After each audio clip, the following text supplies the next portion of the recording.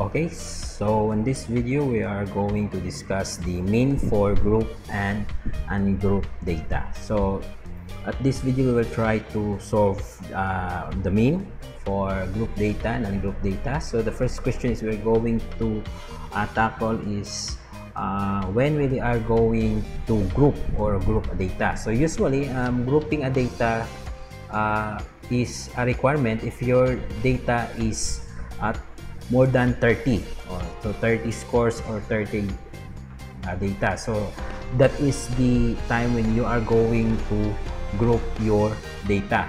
Below that you can still treat that one as an ungrouped data so that you can apply the the the techniques or the formulas for solving the mean for ungrouped data. Okay.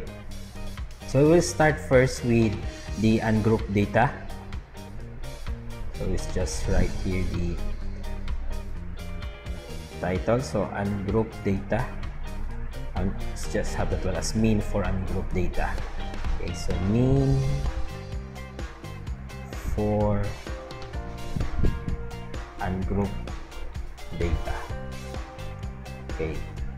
So the mean for ungroup data is given by the formula. So this is the symbol for mean. X bar is equal to the summation of x over n so wherein your summation of x, so this has just been discussed by our previous video. So this will be x sub 1 plus x sub 2 plus x sub 3 plus dot dot dot x sub n or just the sum of the datas, the sum of the scores.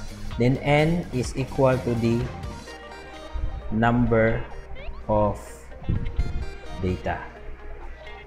So that is the mean for ungrouped data. So, for example, we have here the data. So, just apply immediately to an example. Okay. So, we are given with the scores on an exam. So, scores in an exam. Okay. So, we have here the score. We have 12, 10, 10 9 9 we have 8 7 7 7 we have 6 we have 12 13 11 12 okay so let's just have this one.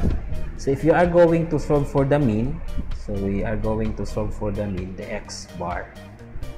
So how we are going to do that? Okay so solving for the mean so let's just this one okay? So the mean is equal to the summation of x over n. So we have our summation of x. So this will be the data. This will be our x sub 1 it's just so by our x sub 1 this will be x sub 2 so on and so forth including this one. Okay so we just get the sum of all the given uh, data. So we have x1 uh, next one that is uh, we have here 12 plus 10 another 10 okay plus 9 plus 9 plus 8 plus 7 plus 7 plus 7 plus 6 plus 12 plus 13 plus 11 plus 12 okay so over. So let's just all over.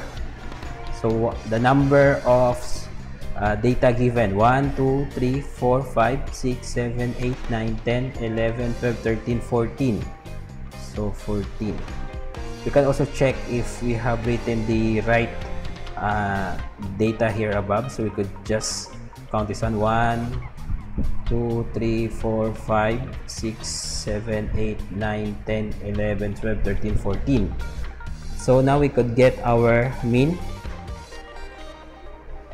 Okay so let's just have our calculator. So let's drag our calculator here. So we have 12 plus 10 plus 10 plus 9 plus 8 plus 7 plus 7 plus 7 plus 6 plus 12 plus 13 plus 11 plus 12 all over 14 and we have 8.86 so our mean is 8.86 and this will be our answer. Okay so in the next video we'll be talking about the mean for group data. So thank you for watching and as always keep on studying